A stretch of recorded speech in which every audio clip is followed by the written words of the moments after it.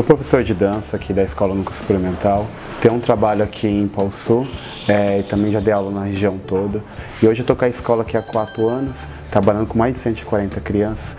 Tenho três professores me ajudando que já eram alunos meus e hoje está dando aula aqui na escola.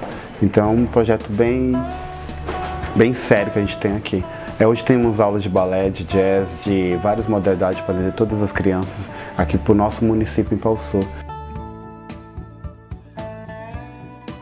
eu pretendo trazer mais verba aqui para os projetos, ampliar mais projetos, né? Não só a dança, como o teatro, na música, na capoeira, bate-lata, vários projetos precisam de incentivo cultural.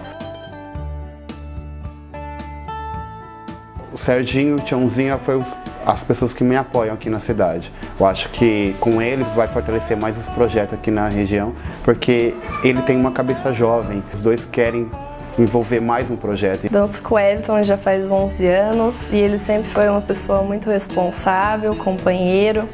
E ele está aqui na nossa cidade há muito tempo com o projeto de dança, proporcionando lazer e atividade para as crianças da nossa cidade e também trazendo cultura para o pessoal que mora aqui. Faço aula com o Elton já há 10 anos. Ele é um cara assim que trouxe a dança para o Sul, criando várias oportunidades aí para a galera, com turnê pelo Brasil. É um cara que traz cultura para a cidade, sempre pensando nas crianças.